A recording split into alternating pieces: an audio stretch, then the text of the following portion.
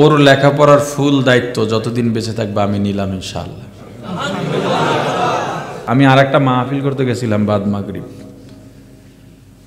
ওখান থেকে আমার কিছু হাত দিয়ে দিছে, কি দিছে তাও জানি না, এটাও আমি দিয়ে গেলাম। এটা ওর পরিবারের কাছে যেন পৌঁছে দেওয়া হয়। দেখেন তো অবস্থা। এ হলো বাঘ প্রতিবন্ধী।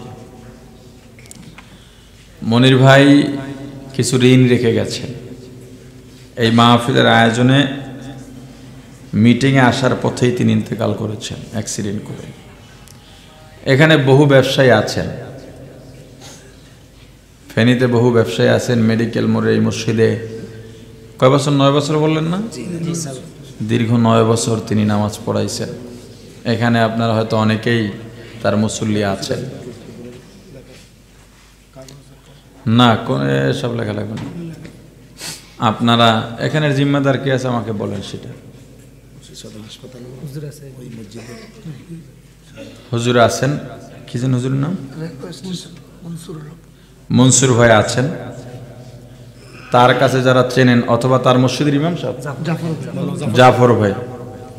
তার মসজিদে যে নামাজ পড়ান, অক্তিয়া নামাজ পড়ান জাফর ভাই। বা মসজিদ কমিটি তাদের কাছে পৌঁছে দেবেন। ওর লেখাপড়ার ফুল দায়িত্ব যতদিন বেঁচে থাকবে আমি নিলাম ইনশাআল্লাহ। এবং ওর কাপড় চোপড় জাল আমার যতদিন তৌফিক আছে। বাকি যেটা আছে ঋণ এবং আপনাদের এলাকার যারা বিত্তশালী আছেন, ঋণ শোধ করাটা এবং তার মেয়ে আছে, পড়তেছে বিয়ে শাদী হবে সামনে। আরও যা আছে এটা আপনার দায়িত্ব নিয়ে, খোঁজখবর নিয়ে, এটা আপনাদের দায়িত্ব। প্রথমত ঋণটা শোধ করা। আমি আর একটা মাহফিল করতে গেছিলাম বাদ মাগরিব। ওখান থেকে আমার কিছু হাত দিয়ে দিছে, কি দিছে তাও জানি না, এটাও আমি দিয়ে গেলাম।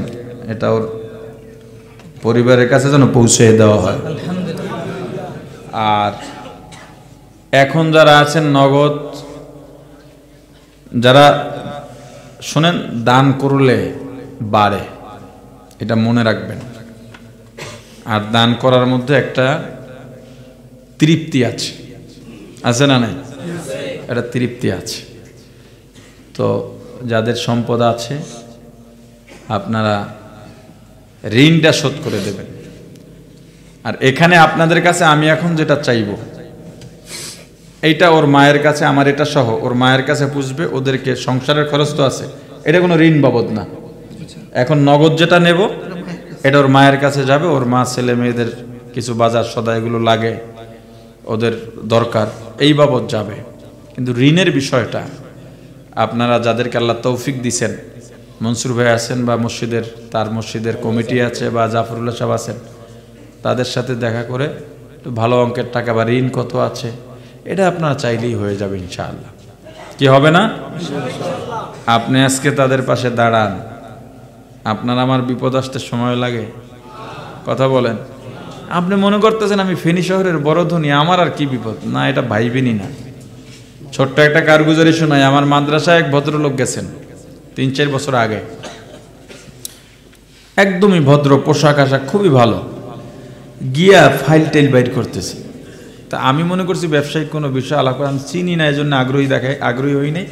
আমি বললাম, কী বলবেন মুখে বলেন? বলেন ছাত্রদের থেকে কিছু টাকা উঠে যদি দেন। কেন? ড্যামরায় ওনার একটা না দুইটা বাড়ি। স্ত্রী এমন অসুস্থ, বাড়ি নাই এখন ভিক্ষা করে। তো ওই ওয়ার্ডের কমিশনার আমার পরিচিত, তারে ফোন দিলাম।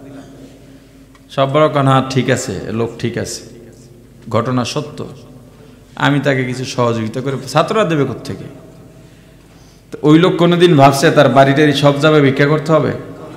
কথা বলেন। এজন্যে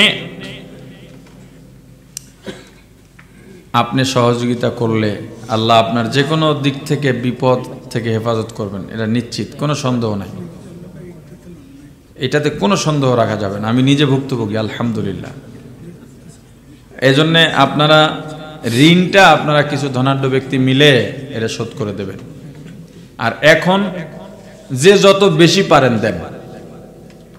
কারা? নামবে কারা? লোক রেডি আছে?